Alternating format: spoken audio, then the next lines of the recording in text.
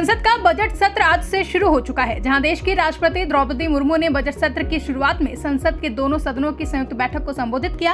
इस दौरान राष्ट्रपति द्रौपदी मुर्मू ने कहा कि अमृतकाल की शुरुआत में बने नए संसद भवन में यह मेरा पहला संबोधन है। संसद के बजट सत्र से पहले राष्ट्रपति द्रौपदी मुर्मू ने संसद के दोनों सदनों को संबोधित करते हुए मोदी सरकार के 10 साल के कामकाज का हिसाब किताब दिया।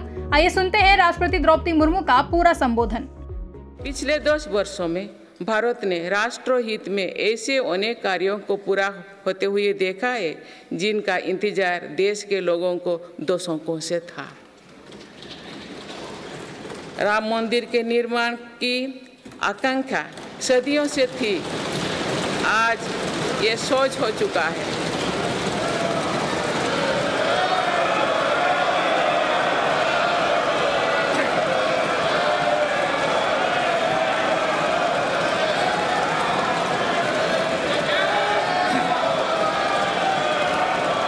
जम्मू कश्मीर से जम्मू कश्मीर से आर्टिकल 70 370 हटाने को लेकर शंकाएँ थी। आज वो इतिहास हो चुकी है। इसी संसद ने तीन तलाक के विरुद्ध कड़ा कानून बनाया है। आतंकवाद हो या विस्तारवाद, हमारी सेनाएँ आज जैसे हो तैसा। की नीति के साथ जवाब दे रही है।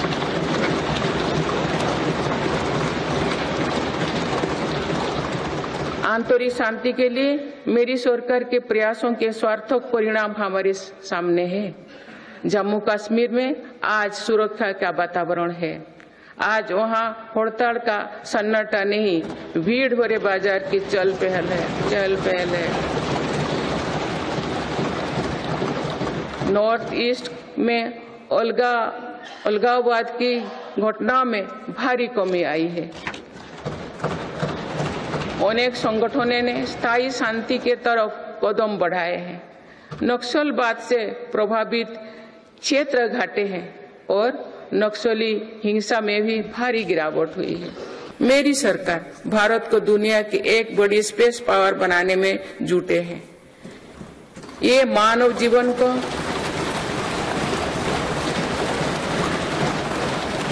ये मानव जीवन को बेहतर बनाने का एक माध्यम है। साथ ही ये स्पेस इकोनॉमी में भारत की हिस्सेदारी बढ़ाने का भी प्रयास है। भारत के स्पेस प्रोग्राम के विस्तार के लिए महत्वपूर्ण फैसला लिए गए हैं। इसके कारण अनेक नए स्पेस स्टार्टअप्स बने हैं। अब वो दिन दूर नहीं है जो भारत का गगनयान स्पेस में जाएगा।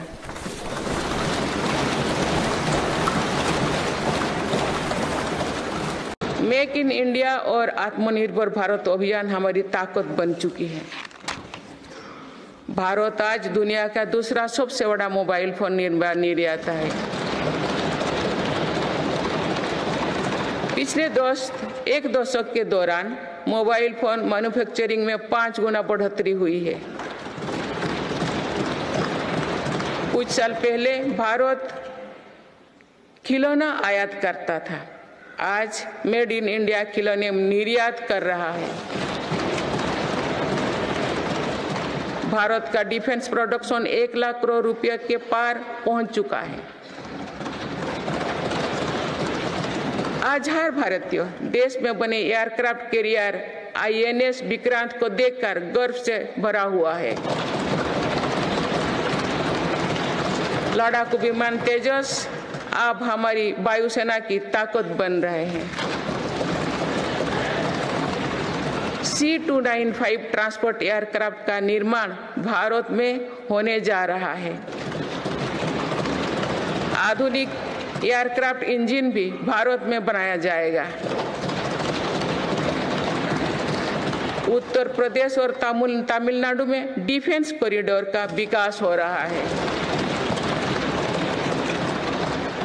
मेरी सरकार ने डिफेंस सेक्टर में निजी क्षेत्रों की भागीदारी सुनिश्चित की है।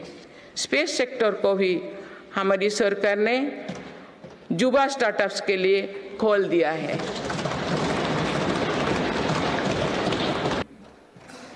हमें सभी बचपन से गरीबी हटाओ के नारे सुनते आ रहे हैं।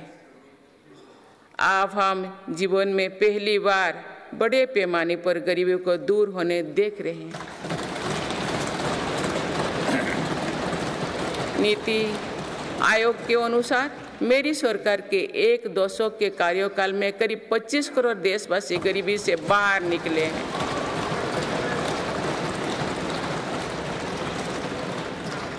यह है प्रत्येक गरीब में नया विश्वास जगाने वाली बात है। जो 25 करोड़ लोगों की गरीबी दूर हो सकती है तो उसकी भी गरीबी दूर हो सकती है।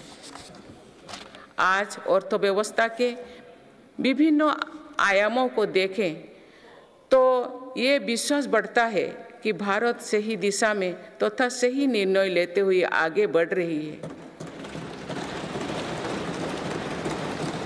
बीते दस वर्षों में हमने भारत को फ्राजाइल फाइव से निकलकर टॉप फाइव इकोनॉमीज में शामिल होते देखा।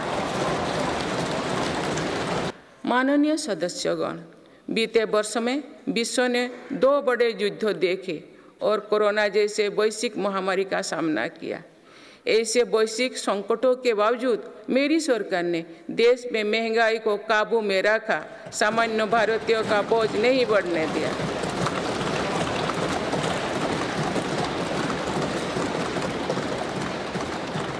दो हज़ार चौदह से पहले के दस वर्षों में औसत महँगाई दर आठ प्रतिशत से अधिक थी।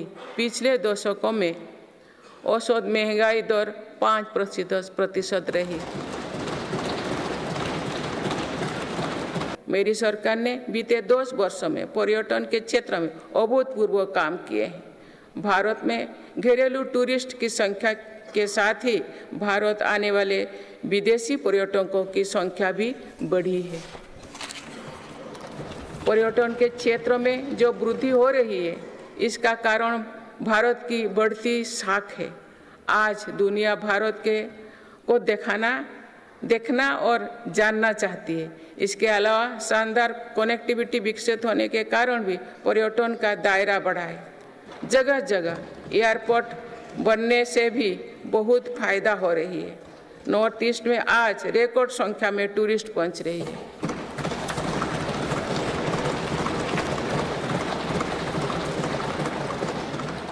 अंडमान निकोबार और लक्षद्वीप को लेकर उत्साह चरम पर है। मेरी सरकार ने देश भर में तीर्थ और ऐतिहासिक स्थलों के विकास पर बल दिया है।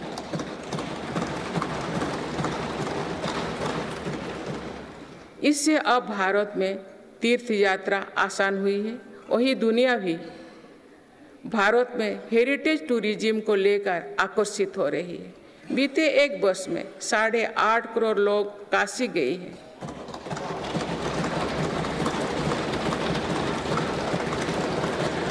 पाँच करोड़ से अधिक लोगों ने महाकाल के दर्शन किए हैं।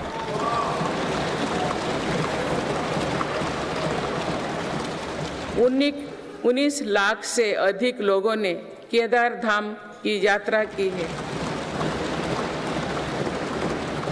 अयोध्या धाम में ही प्राण प्रतिष्ठा के बाद पाँच दिनों में ही तेरह लाख श्रद्धालु दर्शन कर चुके हैं।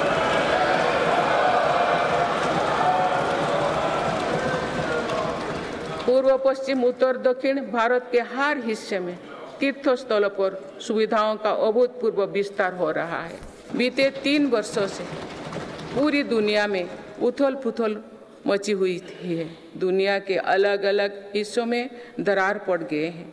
इस कठिन दौर में मेरी सरकार ने भारत को विश्व मित्रों के रूप में स्थापित किया है।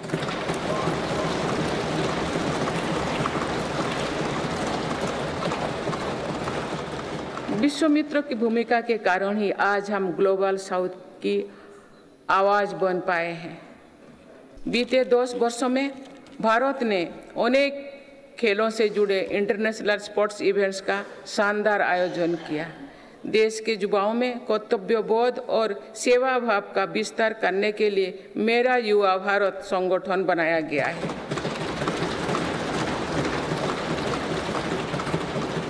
अभी तक तो इस संगठन से लगभग एक करोड़ युवा जुड़ चुके हैं। माननीय सदस्यगण, संक्रमण काल में एक मज़बूत सरकार होने का क्या मतलब होता है, ये हमने देखा है। बीते तीन वर्षों से पूरी दुनिया में उथल पुथल मची हुई थी है। दुनिया के अलग अलग हिस्सों में दरार पड़ गए हैं। इस कठिन दौर में मेरी सरकार ने भारत को विश्व मित्रों के रूप में स्थापित किया है।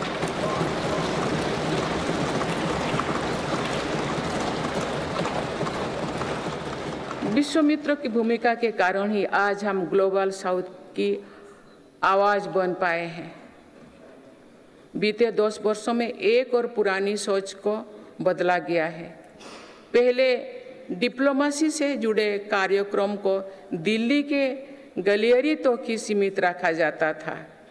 मेरी सरकार ने इसमें भी जनता की सीधी भागीदारी सुनिश्चित की। है इसका एक बेहतरीन उदाहरण भारत द्वारा जी ट्वेंटी अध्यक्षता के दौरान देखा गया है।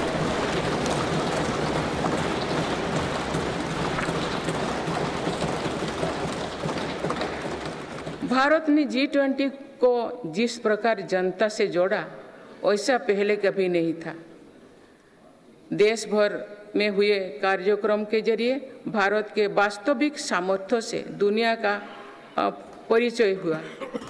जम्मू कश्मीर और नॉर्थ ईस्ट में पहली बार इतने बड़े अंतर्राष्ट्रीय कार्यक्रम हुए।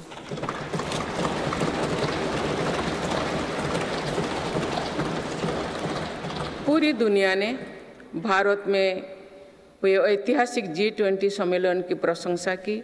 ऐसे बंटे हुए महलों में भी एक मत से दिल्ली घोषणा पत्र जारी होना ऐतिहासिक है। मेरी सरकार ने वैश्विक विवादों और संघर्षों के इस दौरे में भी भारत के हितों को मजबूती से दुनिया के सामने रखा है।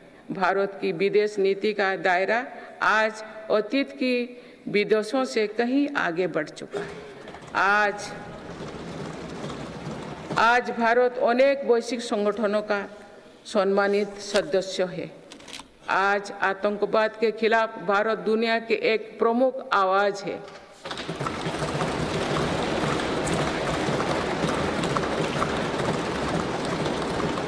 भारत आज संकट में फंसी मानवता की मदद के लिए मजबूती से पहल करता है।